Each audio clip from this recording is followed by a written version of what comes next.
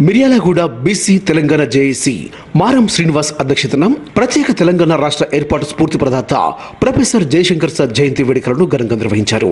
ST SC BC minority నేతలతో పాటు పలు పార్టీల రాజకీయ నాయకులు ఈ కార్యక్రమంలో పాల్గొని జయశంకర్ సార్ చిత్రపటానికి పూలదండలు వేసి ఘనంగా నివాళులర్పించారు. ఈ సందర్భంగా వారు మాట్లాడుతూ తెలంగాణ రాష్ట్రం కోసం నిరంతరం పరితపించి తన జీవితాన్ని ఉద్యమం కోసం త్యాగం చేసిన జయశంకర్ సార్ ఆశయ స్ఫూర్తిని చాటి చెప్పే విధంగా పడమంలో జయశంకర్ సార్ విగ్రహం ఏర్పాటుకు కృషి చేయవలసిన అవసరం ఉందన్నారు. ప్రత్యేక రాష్ట్ర కళ సాకారం అయినప్పటికీ జయశంకర్ సార్ ఆశయాలు మాత్రం నేటికి నెరవేరలేదన్నారు. ఆయన ఆశయ సాధన కోసం దళిత బహుజనులంతా ఐక్యంగా ఉద్యమించవలసిన అవసరం ఉందని అభిప్రాయపడ్డారు. ఆచార్య జయశంకర్ గారు దశ మళ్ళీ దశ తెలంగాణ ఉద్యమం కోసం పాటుపడ్డ మహానీయులు వారిని ఈరోజు జయంతి కారణంగా వారు స్మరించుకోవడం జరుగుతూ ఉంది. మిర్యాలు కూడా జేఏసీ బీ మిర్యాలు కూడా బీసీ జేఏసీ తరఫున ఈరోజు నందిపాట్ బైపాస్ చౌరాస్తాని ఆచార్య జయశంకర్ చౌరాస్తాగా నామకరణ చేయడానికి ఒక నెల రోజుల నుంచి మీడియా ద్వారా ఫేస్బుక్ ద్వారా వాట్సాప్ ద్వారా తెలియపరచడం జరిగినది. ఈరోజు నామకరణం చేద్దామన్న ఉద్దేశంతో ఈరోజు జయశంకర్ గారి జయంతి ఉన్నందున చేద్దామనుకున్నాం. కానీ కొంతమంది ముఖ్య నాయకులు అందుబాటులో లేకపోవడం వలన ఆ నామకరణాన్ని కొంచెం పోస్ట్పోన్ చేసి ఈరోజు ఈ స్థలంలో జయశ జయశంకర్ సార్ గారి జయంతి ఉత్సవాన్ని ఇక్కడే జేసీ తరఫున అన్ని ఆల్ పార్టీ నాయకుల తరఫున యొక్క కార్యక్రమాన్ని చేయడం జరిగినది. చాలా ఇంపార్టెంట్.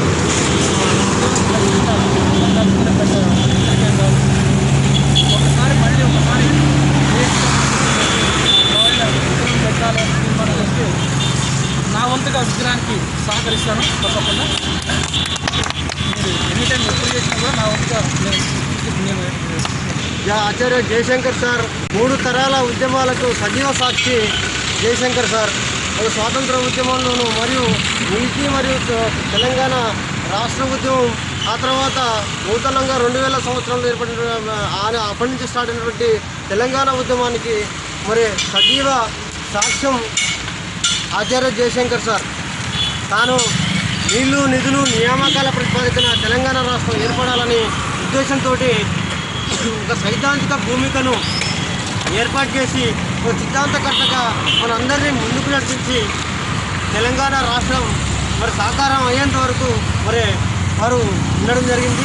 ఈరోజు తెలంగాణ రాష్ట్రంలో రథసారథిగా ఉన్నటువంటి జాతిపిత ఎవరంటే ప్రొఫెసర్ జయశంకర్ సారే తెలంగాణ రాష్ట్రానికి జాతిపిత.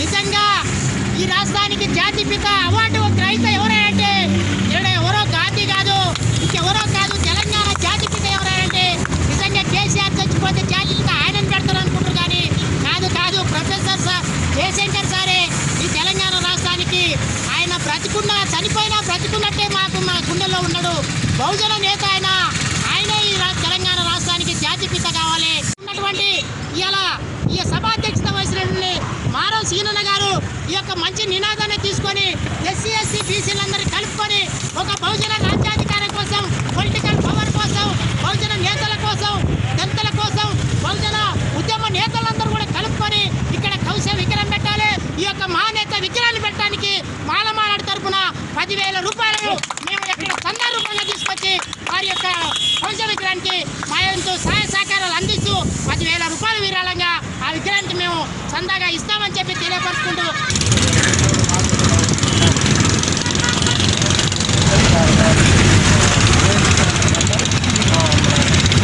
అన్నగారికి గారికి వాళ్ళ కుటుంబానికి కుటుంబాలని జీవితంగా విజయవంతంగా చేయాలని మనస్ఫూర్తిగా కోరుకుంటూ తెలంగాణ ఇప్పుడు వస్తుంది అప్పుడు వస్తుంది అనే విధంగా అంతసేపు కూడా తన యొక్క సమయాన్ని కేటాయించి తెలంగాణ సాధించిన సిద్ధాంతకర్త ప్రొఫెసర్ జయశంకర్ సార్ గారు. వారి యొక్క ఆశయాల అనుగుణంగా ఈరోజు బంగారు తెలంగాణ సాధించాలని కోరుకుంటున్నాము. అలానే మన మిర్యాలకు పట్టణంలో భాగంగా ఎనభై శాతం ఉన్న ఎస్సీ ఎస్టీ బీసీ వర్గాలందరూ కూడా ఐక్యంగా ఉండాలి. ఎవరో కొంతమంది నాయకులకు కొమ్ము కావడం కాకుండా మన ఒక మారం శ్రీనివాసరావు గారికి వచ్చిన యొక్క ఆలోచన ఈ యొక్క ప్రొఫెసర్ జయశంకర్ సారి యొక్క చౌరస్తగా నామకరణం చేయాలని. అనేక రూపకర్త కాదు ఆయన మొత్తం కూడా తెలంగాణ కోసానికి గతంలో కానీ ఇప్పుడు ఉన్నటువంటి ఇప్పుడు ఉన్నటువంటి ఈ నాయకులు కానీ ఇప్పుడు వచ్చినటువంటి తెలంగాణ రాష్ట్రం సాధించుకుని వెళ్తున్న నాయకులు కానీ వీళ్ళందరికీ కూడా ఒక రూపకర్తగా ఒక కర్తగా తెలంగాణ రావాలి ఖచ్చితంగా. తెలంగాణ వస్తేనే ఈ బంగారు బాటలో ప్రజలందరూ కూడా ప్రయాణిస్తారు అని చెప్పేసి అందరికీ కావాల్సినటువంటి సదుపాయాలు కల్పించబడతాయని చెప్పేసి ఆ ఉద్దేశంతో తెలంగాణ సాధించుకోవడం జరిగింది మనం ఏదైతే ఏ ఉద్దేశంతోనైతే ఈ తెలంగాణ సాధించుకుంటున్నామో వలస పాలకుల్ని ఎదిరించేసి మరి ఇవాళ ఉన్నటువంటి మనం మనం స్వచ్ఛందంగా ఈ రకంగా ఈ తెలంగాణ రాష్ట్రం సాధించుకున్న తర్వాత అందరికీ కావాల్సినటువంటి వైద్యం కానీ విద్య కానీ కావాల్సినటువంటి మరి ఉద్యోగ అవకాశాలు కానీ అని కల్పించబడతాయని అనుకున్నాం అవన్నీ నెరవేర్చలేకపోతున్నాం. ఈ ఆశయం కోసం తెలంగాణ తెలంగాణ కోసం ఆరేషలు నిజంగా పాటుపడిన వ్యక్తిలో మొదటి వ్యక్తి జయశంకర్ గారు. కానీ దురదృష్టకరం ఏంటంటే ప్రస్తుత పాలకులు వారిని మర్చిపోయి ఈరోజు వారి జయంతిని కూడా జరుపుకునే పరిస్థితులు లేకుండా బిజీ అయిపోయారు. ఇక్కడైనా కళ్ళు తెరిచి జయశంకర్ గారి యొక్క ఆశయాలను ప్రజల్లోకి తీసుకొచ్చి వారు ఎవరైతే బరువు బలహీన వర్గాలకు పనిచేయాలనే వారి ఆకాంక్షలో ఈ బంగారు తెలంగాణను నిజంగా బంగారు తెలంగాణ చేయాలని వారి కోరికను సాఫల్యం చేయాలని చరిత్ర చెప్పిన పాఠాలను మనము అన్వయించుకున్నట్టుంటే భారతదేశం లోపల భారతదేశం లోపల అగ్రవర్ణాల పెత్తనమే జరుగుతుంది అనేటటువంటిది జయశంకర్ సార్ యొక్క అరవై డెబ్బై ఏడు సంవత్సరాల జీవితం నుంచి మనం కొన్ని పాఠాలు నేర్చుకోవచ్చు కాబట్టి అదే వేరే లెక్కన ఉన్నట్టు ఏదుంటే జయశంకర్ గారి యొక్క మరి ఆయన బతికుంటేనే ఆయన పరిస్థితి ఏమైనటువంటిది దానివల్ల మనం తెలుసుకోవాల్సింది ఏంటంటే మనమంతా ఐక్యంగా ఉండాల్సిన అవసరం ఉన్నది.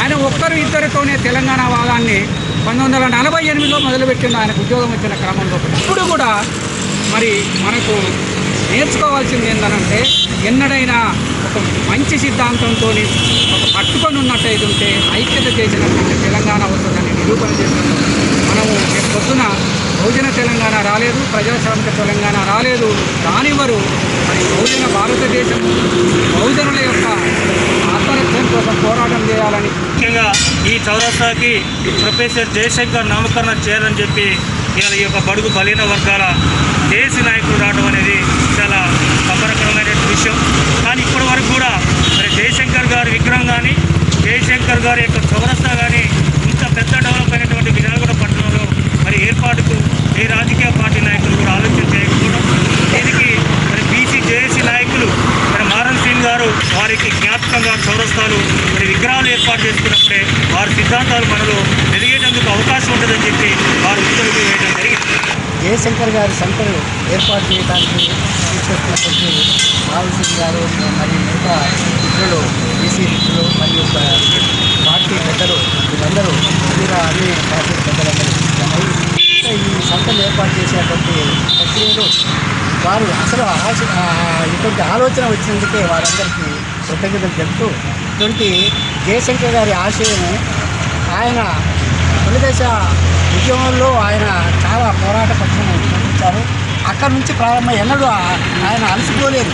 ఎంతో ఆయన ఒక రకంగా పితామహుడు. తెలంగాణ రావ రావడానికి ఆయన ముఖ్య కారణం. మరి జయశంకర్ సార్ను మనం ఆయన జయంతి సందర్భంగా ఆయన తలుసుకుంటున్నాం అంటే మరి ఆయన తెలంగాణ రాష్ట్రానికి ఎనలేని కృషి చేసినారు. మరి ఆయన అడుగుజాడల్లో మరి కేసీఆర్ గారు మరి పయనించి మరి తెలంగాణ రాష్ట్రాన్ని సాధించుకోవడం జరిగింది. అది కూడా భా- భారత రాజ్యాంగంలో డాక్టర్ బాబాసాహెబ్ అంబేద్కర్ గారు ఆర్టికల్ మూడు డి ద్వారా చిన్న రాష్ట్రాలు ఏర్పడితే మరి తెలంగాణ త్వరగా అభివృద్ధి చెంద చెందుద్ది అనేది ఆయన అంబేద్కర్ గారు రాజ్యాంగంలో లిఖించడం జరిగింది. దాన్ని స్ఫూర్తిగా తీసుకొని తీసుకుని మరి తెలంగాణ రాష్ట్రం ఏర్పడడం జరిగింది.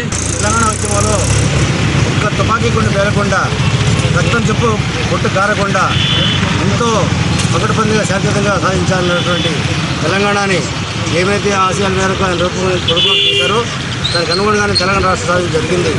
దానికి ఆయనకి ప్రతి తెలంగాణ పౌరుడు ప్రతి తెలంగాణ బిడ్డ కూడా జీవితాంతం ఆయన్ని స్మరించుకుంటూ ఉంటామని మనసు తెలియజేస్తూ ఈనాడు ముఖ్య కార్యక్రమం ఉద్దేశం. పట్టణంలోనే ఒక బీసీ నాయకుడికి తగిన గుర్తింపు రావాలి. ఒక సైకిల్ కావాలి మెయిన్ రోడ్లో తీసుకొని ఈ ఆశ కోసం మానసిక అవసరం సైకిల్ చేస్తారు.